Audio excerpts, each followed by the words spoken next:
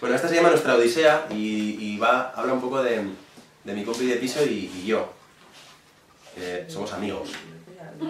Compañeros. No, es que siempre cuento lo mismo, siempre digo que es una relación totalmente heterosexual para que nadie se... Eso es. Y bueno, va de, va de músicos locos que siguen dándose a la pared. Pero está muy bien, se llama Nuestra Odisea y es algo así, fíjate. Eh, bueno, imaginaros que hay una, un grupo entero aquí